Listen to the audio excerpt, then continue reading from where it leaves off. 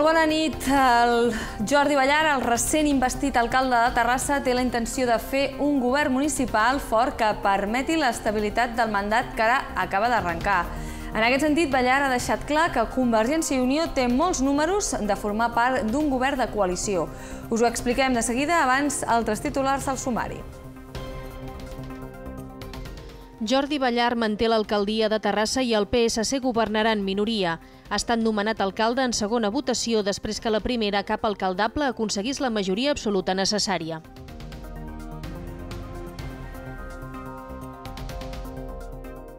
La Festa Major del Poble Nou ha acollit aquest diumenge una pedalada a favor d'Ajuda Directa. Amb aquesta iniciativa solidària es van recaptar aliments pels més necessitats.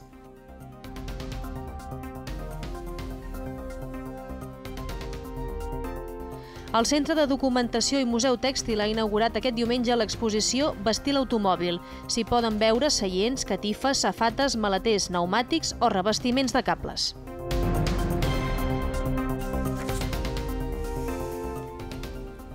La penya Sant Pedro ja és equip de la primera catalana. Ho va aconseguir dissabte en guanyar l'eliminatòria d'ascens contra el Premià.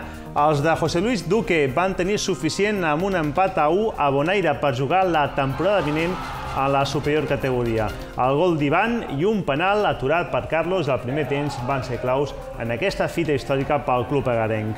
El Vallparadís ja suma 3 lligues. Dissabte va aconseguir la segona consecutiva en derrotar la final del Castellbisbal.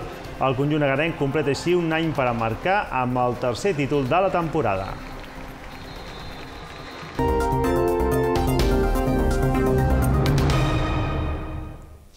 Jordi Ballar continua converses eh, per aconseguir un govern fort i estable. L'alcalde de Terrassa ha fet aquest dilluns la declaració pública de béns i drets patrimonials.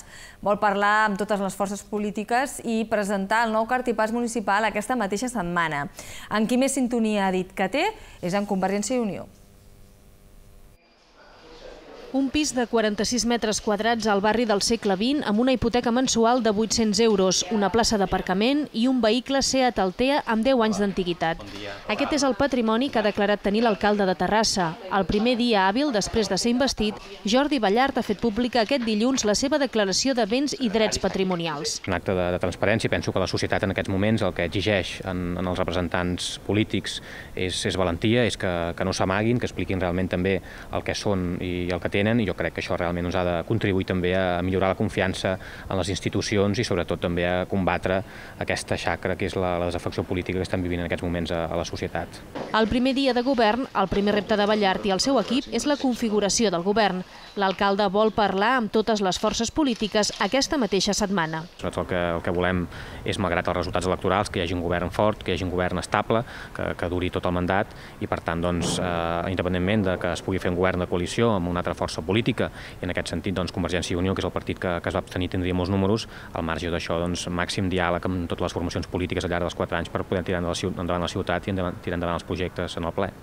Segons Ballar, serà un mandat que donarà continuïtat a les prioritats que fins ara ha tingut la ciutat, la reactivació econòmica i la lluita contra l'atur, les polítiques socials i d'habitatge i una nova organització municipal. És evident doncs, que, que hi ha una administració que, que porta molts anys amb una mateixa estructura i per tant doncs, jo crec que hem de, hem de fer molts canvis eh, interns perquè aflori el talent i perquè realment doncs, l'Ajuntament de la ciutat estigui molt més a prop de, dels ciutadans que fins ara.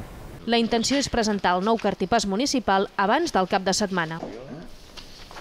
Recordem ara com es va desenvolupar el ple d'investidura de dissabte. Jordi Ballar manté l'alcaldia de Terrassa i el PSC de moment governarà en minoria en el mandat que acaba d'arrencar. El cap de llista socialista ha estat nomenat aquest dissabte alcalde en segona votació després que la primera, cap alcaldable, aconseguís la majoria absoluta necessària. Prometo, per la meva consciència i honor, complir fidelment les obligacions del càrrec d'alcalde de Terrassa amb lleialtat al rei i guardar i fer guardar la Constitució com a norma fonamental de l'Estat i l'Estatut d'Autonomia de Catalunya. D'aquesta manera, Jordi Ballart ha promès el càrrec i ha estat investit alcalde de Terrassa pels propers quatre anys en el ple de Constitució del consistori d'aquest dissabte. El cap de llista del PSC ha estat nomenat alcalde en la segona votació després que en la primera cap alcaldable aconseguís la majoria absoluta necessària. Els socialistes governaran en minoria en el proper mandat amb 9 dels 27 regidors del consistori i amb pactes puntuals. En la votació, el candidat de Terrassa en Comú, Xavi Matilla, ha rebut el suport d'11 regidors, ja que a banda dels 6 propis s'hi han sumat els 4 d'Esquerra Republicana, Moviment d'Esquerres i la regidora de la CUP. Tal i com havien anunciat, els tres regidors de Convergència i Unió finalment s'han abstingut i l'alternativa al PSC ha quedat a tres vots de la majoria absoluta necessària. La Federació Nacionalista ha acusat Terrassa en Comú i els republicans de deixar-los de banda a l'hora d'intentar formar govern. Ciutadans també ha presentat el seu candidat Javier González, que ha rebut els vots dels seus tres regidors, i el Partit Popular s'ha abstingut.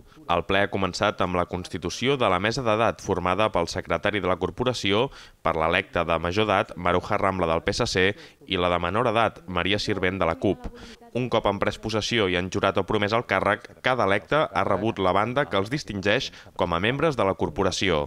L'alcalde Jordi Ballart ha avançat que el nou govern municipal estarà obert al diàleg i al consens i serà capaç de construir majories variables per garantir el bon funcionament de l'Ajuntament. Avui més que mai m'adreço directament als ciutadans i ciutadanes de Terrassa. Ho faig amb el cor i amb el cap, amb passió i amb respecte molt conscient del moment històric que estem vivint.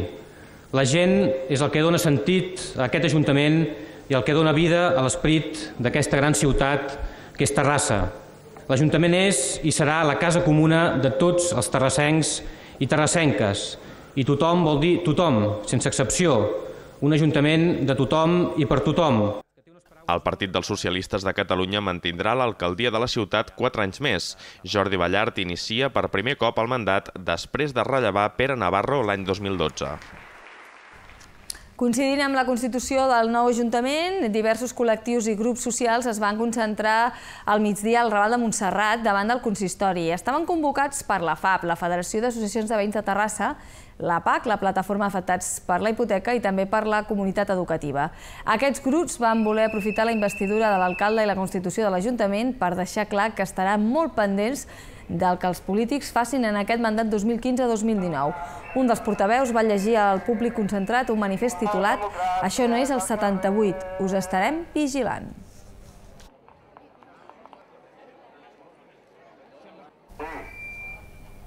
I a continuació veiem com han quedat configurats els ajuntaments al Vallès Occidental. La meitat dels municipis tenen nou alcalde o alcaldessa. Comencem en Sabadell, on Esquerra governarà després de dues dècades de socialistes. La meitat dels municipis a la comarca té nou alcalde o alcaldessa des de dissabte. El més destacat és Sabadell, on el republicà Juli Fernández és el nou batlle gràcies a un pacte de govern amb la crida Plataforma que integra l'Entesa i la CUP. A mig mandat, al maig del 2017, Fernández cedirà l'alcaldia a Matías Serracant, portaveu de la crida. A banda de Sabadell, el PSC perd quatre alcaldies més. Són Barberà, ara amb Sílvia Fuster, de la Plataforma Ciutadana per Barberà, Castellbisbal, ara amb Joan Playà, d'Alternativa per a Castellbisbal, Cerdanyola, amb Carles Escolà, de Compromís per Cerdanyola, i Ripollet, amb José María Osuna, d'Ara Decidim Ripollet. Per la seva part, Convergència i Unió perd tres alcaldies, Polinyà, que passa al socialista Javier Silva, Sant Quirze, ara amb la republicana Elisabet Oliveres, i Sant Manat, que assumeix Marc Berneda de l'Assemblea Ciutadana de Sant Manat. Esquerra s'ha fet amb la batllia de Vacarisses, amb Antoni Massant al capdavant, desbancant l'històric Salvador Boada de la Unió d'Independents per Vacarisses. En dos municipis el PSC manté l'alcaldia, però amb canvi de titular.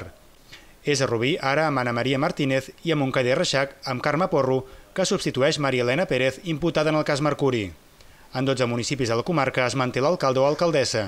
Són els socialistes Eva Menor a Badia, Ignasi Jiménez de Castellà, Teresa Pedrós a Palau Solità i Jordi Ballart a Terrassa.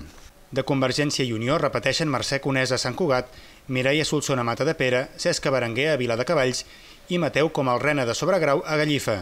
També continuen els republicans Marta Roquer a Rellinàs, Ricard Torralba a Sant Llorenç Savall i Joan Vallvé a Ullastrell, així com Isabel García Ripoll a Santa Perpètua, l'única ciutat amb mans iniciativa. Ara, un cop aclarit el panorama en tots els ajuntaments, el PSC és la força que té més alcaldies a la comarca, 7. Esquerra en té 6, Convergència i Unió 4 i Iniciativa 1. 5 poblacions tenen alcalde de formacions de caire municipalista. Doncs coincidint amb la constitució del nou Ajuntament de Terrassa i de l'elecció de l'alcalde, aquesta nit el programa El Quarto de Reixa fa un especial amb els alcaldes Domènec Llofresa i Manuel Royes. Llofresa va ser alcalde de la ciutat entre el 1977 i el 1979 i Royes va estar al capdavant de l'Ajuntament entre el 1979 i el 2002. En dos polítics compartiran anècdotes i històries de les seves èpoques dirigint el consistori. També recordaran els seus actes d'investidura com a alcaldes i reflexionaran sobre els canvis a l'hora de fer política dels darrers anys. El programa presentat per Quico Simó s'emet a les 9 i a les 11 de la nit i es reemetrà dimarts a dos quarts de 5 de la tarda, dimecres a la 1 de la tarda. També el podrem veure el cap de setmana, dissabte a dos quarts de 6 de la tarda i diumenge a dos quarts de 4 de la tarda. Eh, home, jo vaig començar... Oh, és que és saludable que hi hagués... La Rambla de Francesc Macià i la plaça del primer de maig han tornat a acollir un any més el comerç a cel obert una activitat marcada per la presència de les botigues de la zona al carrer. Durant tot el dissabte, des de les 10 del matí fins a les 10 de la nit, també s'han fet activitats infantils, concerts, ball, una exhibició canina i espectacles de foc i tallers amb l'actuació dels Diables de Sant Pere Nord. Ha estat l'edició número 13 d'una iniciativa en la qual les botigues d'aquesta zona del barri de Sant Pere Nord han pogut treure els seus productes a l'exterior. I coincidint amb la Festa Major del Poble Nou Zona Esportiva, l'ONG Ajuda Directa ha recaptat aliments pels més necessitats i ho ha fet a través d'una pedalada. Amb un ambient molt familiar es donava el tret de sortida a la plaça de la Cultura. La inscripció només requeria la donació de productes. La Festa Major del Poble Nou ha acollit aquest diumenge una pedalada solidària a favor d'Ajuda Directa, una ONG que atén les persones que viuen en situació de vulnerabilitat i les famílies que necessiten aliments per subsistir. La pedalada, amb un ambient molt familiar, ha donat el tret de sortida a la plaça de la Cultura i ha recorregut els carrers del barri amb la col·laboració de Bici Terrassa Club. La inscripció requeria la donació de productes alimentaris a l'ONG Ajuda Directa. L'associació també té actualment en funcionament tres projectes internacionals, a Haití, a Sri Lanka i a Guinea. Conscienciar una miqueta a tothom, a tota la ciutadania, de l'estat que, que hi passa en el món, de que estan molt tocadets, eh, hi ha moltes famílies i molta gent que necessita la nostra ajuda. No? I és una tasca molt divertida. Llavors, el que intentem és que compaginar aquesta acció de, de, de bueno, motivar la gent que entengui el que és pues, amb actes com aquest. No? L'associació va néixer l'any 2005 amb l'objectiu de canviar la vida a aquelles persones que es troben en situació d'extrema pobresa. Per setè any consecutiu, la Biblioteca del Districte 6 ha organitzat una gincama gincana perdó, relacionada amb el món del còmic, amb la col·laboració de l'Associació de Comerciants Eix Terrassa Nord, que ha cedit els tres premis sortejats aquest divendres. En aquesta ocasió, el protagonista ha estat les aventures d'en Massagran, un heroi desmanegat i voluntariós que soluciona tots els problemes d'una forma enginyosa. En Massagran ha viscut per uns dies en els aparadors d'alguns comerços de la Rambla Francesc Macià i Rodalies. Un total de 42 infants repartits en 35 grups han recollit els qüestionaris de la Massa Gran Gincana, celebrada entre el 5 i l'11 de juny. Finalment han estat 23 grups els que han lliurat el qüestionari omplert amb les respostes i els segells dels comerços participants, tant tal com requerien les bases del concurs. La sala d'actes de la BD6 ha acollit el sorteig entre els participants que han encertat totes les respostes del qüestionari. Els guanyadors han estat Natàlia Tello, Àlex Tello i Paula Arroyo. Paula, Gai, Lau. Doncs arriba ara l'hora de repassar tota l'actualitat esportiva del cap de setmana. Joan Gutiérrez comença parlant de la victòria de la Penya Sant Pedro, que ja és equips de primera catalana.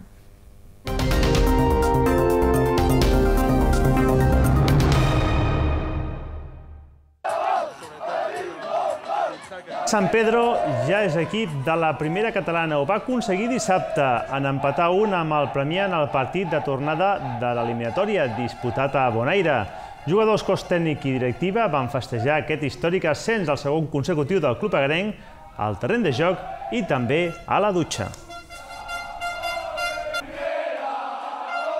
Bona nit. La penya va fer bona la victòria aconseguida en el partit d'anada a Premià i amb l'empat ha tingut suficient per pujar de categoria.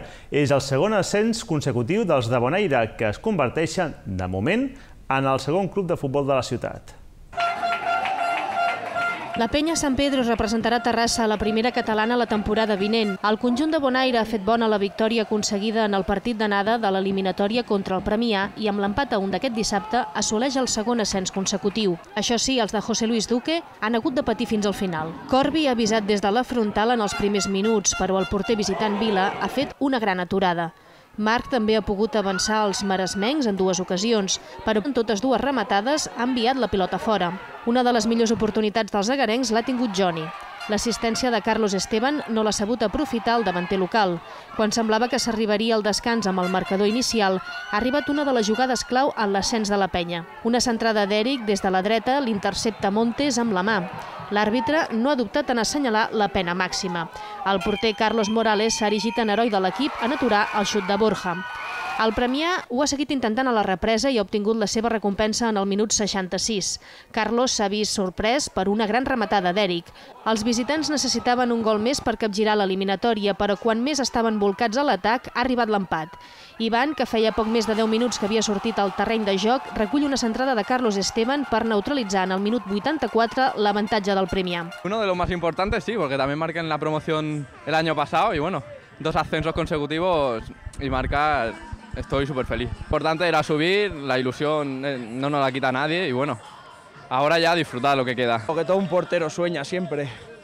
Prepararte el penalti y ayudar a tu equipo a conseguir la victoria, en este caso el ascenso. Aprovechar estos momentos, aprovecharlos que en la vida siempre vienen, de estos momentos vienen muy poco, por desgracia. Era un día muy difícil.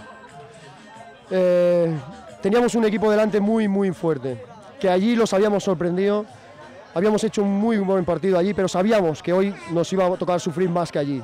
Gracias a la parada de Carlos en el penalti hemos sobrevivido y en la segunda parte hemos controlado mejor. ¿Cuál es el, el éxito de, de esta temporada? Ahí los tienes.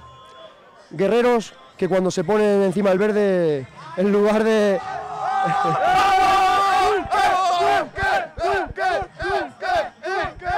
Vista Alegre i Jesús i Maria acompanyen la penya Sant Pedro a primera catalana. Una de les persones que no podien amagar l'alegria per a aquest ascens de la penya Sant Pedro era Jordi Cuesta. L'empresari presenta avui el projecte de refundació d'un nou Terrassa Futbol Club, precisament ocupant la plaça del conjunt del Pla del Bonaire. Cuesta donant a conèixer les línies de treball d'aquest projecte amb l'organigrama tècnic i les persones que ho han fet possible. És un bon equip, eh? és un bon conjunt i llavors Ara fer una tria és complicat. Tirem endavant en tot, tenim un gran equip i avui, amb pocs recursos, fixen el que hem fet. Hem pujat dues categories de cop, eh? I continuem mirant i treballant i, i el dilluns presentem el projecte. Jo crec que sí, és l'objectiu, una tercera, eh? La selecció espanyola masculina d'hoquei va finalitzar cinquena a la ronda semifinal de la World League que ha acabat aquest diumenge a Buenos Aires, a l'Argentina. El conjunt de Fred Soller ha derrotat a Nova Zelanda per 3 a 1 en el partit pel cinquè lloc, una posició que li torna a obrir les portes als Jocs Olímpics. Els oceànics, però, s'han avançat al final del primer quart en un ràpid contracop que ha materialitzat Simon Child. L'equip espanyol, amb 8 agarencs en aquesta competició, no ha llançat la tovallola i ha empatat abans del descans. Ha estat en un penal córner, on precisament el terrassenc Albert Beltran feia l'1 a 1. El combinat de Soller ha dominat el segon temps i, en el primer minut ha fet el 2 a 1 amb una gran rematada de Gavi de Banc. Nova Zelanda, en el darrer quart, ha arriscat jugant amb porter jugador i això ho ha aprofitat Espanya per fer el 3 a 1 mitjançant Andrés Mir. El títol d'aquesta ronda de la World League està per a Alemanya, que a la final ha superat Argentina per 4-1. Amb la cinquena plaça, l'equip espanyol haurà d'esperar els resultats de l'altra ronda semifinal de la World League, que s'ha de disputar a Bèlgica, o guanyar l'europeu per aconseguir el bitllet per a Rio de Janeiro. També arriben bones notícies de la ronda semifinal de la World League femenina que s'està celebrant a València. L'equip espanyol dirigit per Adrian Locke i amb set agarenques a les seves files ja s'ha classificat per als quarts de final. Ho ha aconseguit en derrotar dissabte Canadà per 3 a 0. La selecció espanyola ha dominat clarament un partit que s'ha hagut d'aturar durant pràcticament una hora per la pluja que ha caigut a les instal·lacions de Veteró. La victòria no s'ha pogut començar a encarregar fins al tercer quart. Una gran jugada de la garenca Berta Bonastre l'ha finalitzada Rocío Ibarra amb l'1 a 0. La sentència d'Espanya ha arribat en el darrer quart d'hora. Lola Riera, l'especialista en el penal córner, ha fet el segon, i Maria Gómez La Pujade, a 5 minuts pel final, ha establert el definitiu 3 a 0. Aquest dilluns hi ha jornada de descans. Dimarts, l'equip espanyol s'enfrontarà amb l'Argentina en l'últim partit de la fase de grups.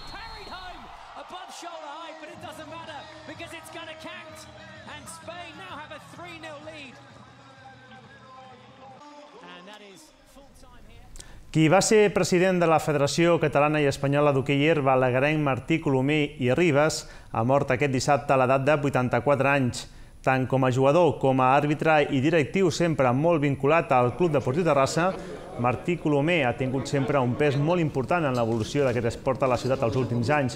Va ser responsable de la subseu olímpica de Terrassa als Jocs Olímpics de Barcelona i al llarg dels 12 anys com a president de la Federació Espanyola, l'hoquei va viure un dels moments àlgids tant a nivell de clubs com de seleccions. Sempre vinculat al sector tèxtil agarenc, el 1981 va ser nomenat Terrassenc de l'any. El 2004 va rebre la medalla de forjador de la història esportiva de Catalunya, de la Generalitat de Catalunya, i el 2009 va ser distingit en la medalla de la ciutat. L'enterrament ha tingut lloc aquest migdia al cementiri municipal. situat a l'actual Avinguda Jacà, quan es comença la semblança d'un... L'assessoria Paradís domina clarament el cursvol català. Dissabte l'equip terrassenc es va fer amb el títol de Lliga el segon consecutiu, després de derrotar en la final el Castellbisbal. Amb la consecució del campionat regular, el Vaipa suma un triplet aquesta temporada. L'assessoria Vallparadís ha revalidat el títol a la Lliga Nacional de Corbol, després de derrotar el Castellbisbal per 22 a 24, en la final disputada dissabte al pavelló de Sant Llorenç. Així doncs, l'equip agarenc tornarà a representar Catalunya a Europa la temporada vinent. Gran ambient al pavelló, amb la participació de diferents grups de cultura popular de la ciutat i partit de màxima rivalitat entre dos equips que han demostrat ser mereixedors d'arribar a aquesta final. De fet, la igualtat ha estat màxima durant la primera meitat, amb alternatives en el marcador per a Castellbisbal i Vallparadís. Cap dels dos equips ha arribat a disposar de més de dos punts de diferència i al descans arribava amb 11 a 13 per al conjunt de Miguel Ángel Tobaruela. A la represa, el Vallparadís ha encarrilat el triomf liderat per José Luis Curado, màxim anotador del partit amb 8 cistelles, ha arribat a col·locar-se 5 punts amunt, 17 a 22, a 10 minuts per al final. El Castellbisbal, que arribava a una final per primera vegada a la seva història, ha pogut escurçar les diferències, però la falta d'encert en el tir en els minuts claus ha estat decisiva. La sensació és com si fos la primera vegada, la veritat. Cada final són molt disputades, fins a l'últim moment doncs, eh, hi ha possibilitats de perdre o guanyar el partit i, i per tant doncs, l'emoció és, és molt gran. No? A més, un gran rival, Castellbisbal, ha jugat molt bé i que aquestes finals fan molta afició i, i molt contents, la veritat. Ja veníem amb tot guanyat perquè havíem complert l'objectiu, que era poder disputar aquesta final, i la veritat és que bueno, tenim molt que celebrar perquè ha sigut una gran temporada per al nostre club, a seguir treballant, i bueno, la idea és que s'han de jugar moltes finals per, per poder guanyar alguna. El Vallparadís posa la cirereta a una temporada per emmarcar, després de guanyar també la Supercopa i la Copa Catalana i aconseguir un meritori cinquè lloc a l'Europa Cup. Doncs moltes felicitats a Laura al Vallparadís amb aquest títol de Lliga. I faig només un apunt de futbol. Si aquesta temporada el Sabadell començava dirigint-lo des de la banqueta Miquel Olmo, Ara, amb el conjunt arlequinat eh, a segona divisió B, un altre ex-entrenador del Terrassa, Miguel Álvarez, serà l'encarregat de dirigir el Sabadell amb l'objectiu de fer-lo pujar de nou a segona divisió. Ha estat presentat aquest migdia a Sabadell. Doncs gràcies per aquest últim apunt, d'última hora, i més coses demà. Més coses demà. Que vagi bé. Adéu, bona, bona nit, Joan.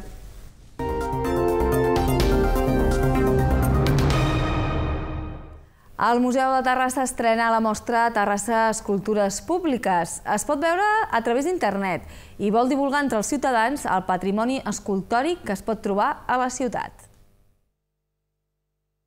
El Museu de Terrassa ha estrenat una nova exposició virtual dedicada a les escultures públiques. Amb aquesta mostra, que es pot veure a l'adreça www.terrassa.cat barra exposicions virtuals museu, l'Ajuntament pretén divulgar entre la ciutadania el patrimoni escultòric que es pot trobar a parcs, places i altres espais públics de la ciutat i que inclou obres d'èpoques i estils molt diversos. Aquesta és la quarta exposició virtual del Museu de Terrassa que s'afegeix a la riuada del 62 a Terrassa, Terrassa Inspira i una història de rajoles. A diferència de les altres tres, que van tenir inicialment una versió física, aquesta exposició s'ha creat expressament en forma virtual. El punt de partida de la mostra és el llibre del mateix títol, editat pel Consistori el 2002, que incorporava 38 escultures del moment, més una en elaboració i tres de desaparegudes. La mostra virtual, que constitueix una actualització d'aquell llibre, aplega informació i fotografies de 47 escultures. La pantalla principal de l'exposició és un plànol de la ciutat on es marca la localització de les diferents escultures i un seguit de fitxes en miniatura de totes les peces. Per l'elaboració de la mostra Terrassa Escultures Públiques, el museu ha comptat amb la col·laboració del Servei de Sistemes d'Informació Territorial i Població de l'Ajuntament de Terrassa, que ha actualitzat la informació existent sobre les escultures ubicades en espais públics. No deixem internet perquè la pàgina web del Bisbat de Terrassa té des d'aquest dilluns eh, un nou disseny. El canvi coincideix amb la data de l'11è aniversari de la creació de la diòcesi. A més, s'emmarca en el conjunt d'actes organitzats per celebrar el desè aniversari de la Constitució de la diòcesi. La Delegació per a les Noves Tecnologies ha coordinat la preparació de l'actualització de la pàgina web per fer-la més atractiva i àgil. El nou disseny s'adapta als diferents suports d'ordinador fix, tablet i smartphones, així com els diversos navegadors existents. La nova imatge pretén ser més clara, dinàmica i corporativa dels diferents organismes del Bisbat, amb informació actualitzada i amb un accés més fàcil i intuïtiu.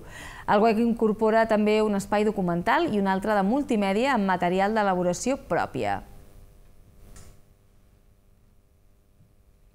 Marxem ara al, al Museu Tèxtil. Allà una exposició mostra la importància dels elements tèxtils en un cotxe. Seients, catifes, safates, maleters, pneumàtics o revestiments de cables són alguns components que s'hi poden veure. L'exposició es pot visitar fins al dia 20 de desembre. L'entrada és gratuïta. El Centre de Documentació i Museu Tèxtil ha inaugurat aquest diumenge l'exposició Vestir l'automòbil. Es tracta d'una mostra que té l'objectiu d'explicar al públic la presència i tecnologia dels elements tèxtils que intervenen en un cotxe. Seients, catifes, safates, maleters, pneumàtics o revestiment de cables són alguns dels components que s'hi poden veure. També es fixen les fibres i estructures, aquells materials que s'utilitzen i les seves propietats.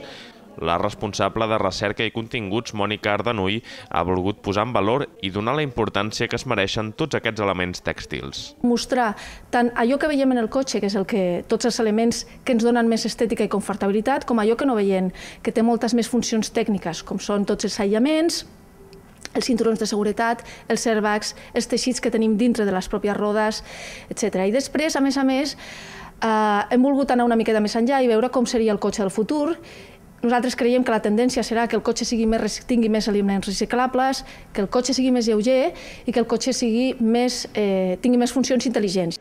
L'exposició restarà oberta fins al dia 20 de desembre i es podrà visitar gratuïtament els diumenges de 10 a 2 i els dijous de 4 a 7. Més de 350 motos es reunien aquest dissabte a Terrassa a la Impalada 2015. Després de dinar al restaurant Imperial, les més de 350 motos han desfilat pel centre de la ciutat fins a acabar el NatTec, on han quedat aparcades al pati mentre els participants han visitat una exposició. Terrassa ha acollit aquest dissabte la Impalada 2015. Es tracta d'una trobada que plega anualment els aficionats a les motocicletes Montesa Impala. Durant el matí han recorregut 190 quilòmetres des de Barcelona amb aturada final a Terrassa. Després del dinar al restaurant Imperial, les més de 350 motos han desfilat pel centre de la ciutat fins a acabar al Museu Nacional de la Ciència i la Tècnica de Catalunya, on han quedat aparcades al pati mentre els participants han visitat una exposició de Montesa. Són motos que es conserven habitualment en marxa a diferència d'altres models que es guarden a museus. Els amants d'aquesta relíquia la tracten com un autèntic tresor. Jo diria que és la satisfacció personal de cada persona que en té una. Sap el que té, sap com li funciona, està agraït de com li funciona i tot el que muntem al voltant d'aquesta moto sempre és un èxit. D'aquestes motos, curiosament, i a diferència de totes les demés, és una moto que encara estan moltes en marxa, que es fan funcionar quasi cada dia per Barcelona i que tenen eh, la, la, seva, diguem, la, la seva qualitat és que eh, duren molt, van molt bé, no es trenquen i que els pots fer servir com una moto actual.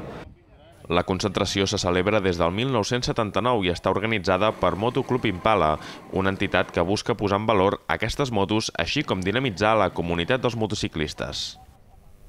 Marxem, recordeu que teniu més notícies al terrassadigital.cat i al Facebook i Twitter de Canal Terrassa. I us recordem que a partir de les 9 podreu gaudir del programa especial que Quico Simó fa avui al Quarto de Reixa amb els exalcaldes Domènec Jofresa i Manuel Royes. Gràcies per la vostra atenció i fins demà, que vagi molt bé. Bona nit.